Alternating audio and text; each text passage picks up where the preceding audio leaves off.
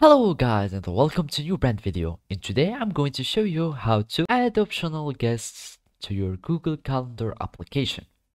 So the first thing that I will need you to do now is to open your Gmail and then you will need to click on your profile picture or you can have these Google apps like this and click on it and here you will find all the different uh, application of Google uh, application and then you will need to choose Google Calendar.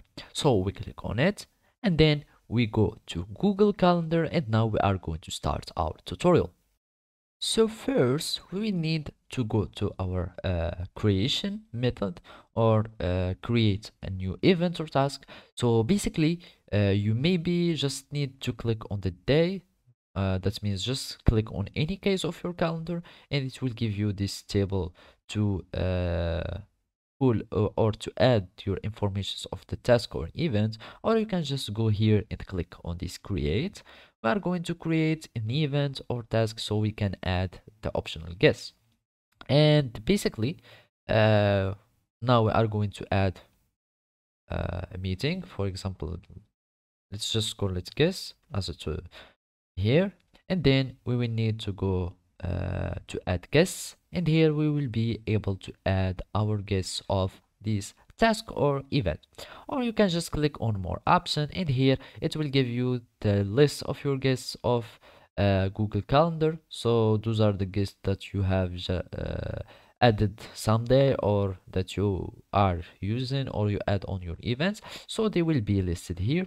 And of course uh, you can give them permissions uh, either only see guest list invite others or modify events. You can just uncheck these ones if you want. And basically you are just going to type uh, either the contact basically you can have a name of contacts for example this one.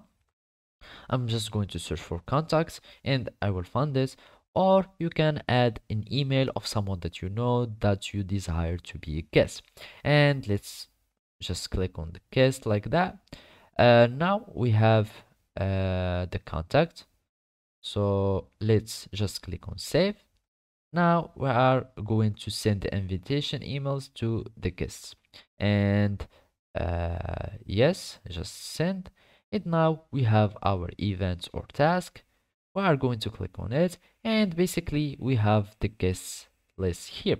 And by that we are just click like that. And by that we have just created a guest here to our events or tasks of our Google Calendar.